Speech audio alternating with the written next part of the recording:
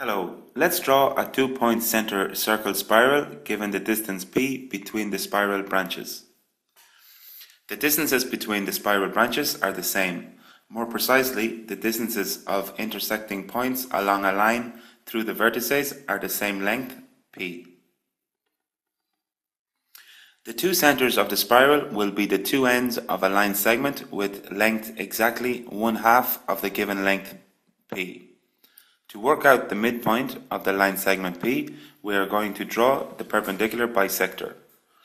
Firstly, we must draw two arcs which are centered on both ends of our line segment P, as can be seen here in the video. These arcs are going to have the same radiuses. The only condition is that the length of the radius must be longer than half the length of the line segment P. We scribe a second arc to intersect our previously drawn arc above and below the line segment P, as shown here in the video.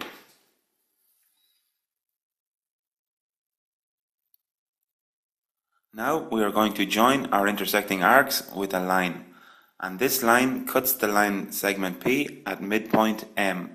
So now we have calculated half of our line segment P.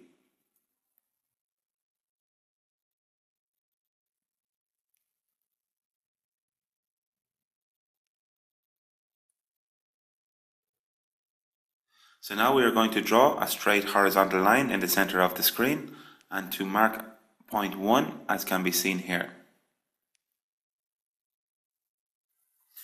So now setting our compass to length p over 2, we are going to transport it onto our horizontal line.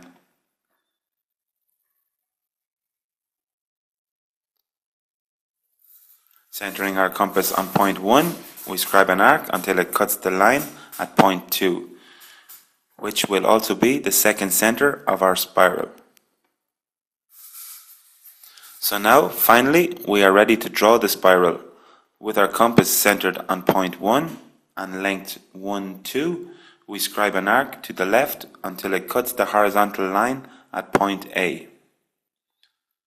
So now with our compass centered on point 2 and set to length 2A, we scribe an arc to the right until it cuts the horizontal line again at point B. Here you can see the spiral forming from two separate circle arcs and the distances from point 2 to B is equal to our given line length P. Theoretically, the spiral can go to infinity and we will continue drawing it until we fill the screen. So to continue the spiral, with our compass centered on point 1 and length 1b, we scribe an arc to the left until it cuts the horizontal line at point C. Now with our compass set on 2 and length 2c, we scribe an arc until it cuts our horizontal line at point D.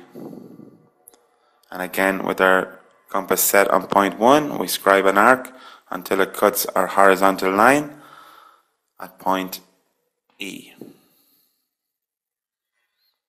And with our compass set on point 2 and length 2E, we scribe an arc until it cuts our horizontal line again at point F.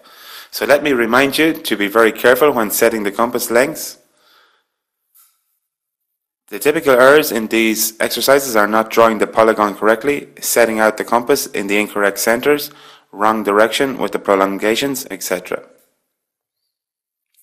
So now we have our two points center circle spiral given the distance p between branches. Thank you very much. I hope this video has helped you. Please click like or subscribe to our channel.